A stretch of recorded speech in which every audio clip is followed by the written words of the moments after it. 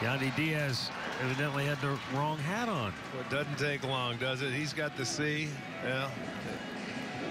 He's looking around like, uh-oh. Yeah, there's the Chief. They got today we were playing with Chief on the, on the cap, Yandy. I think uh, Andre stole his cap and had it uh, on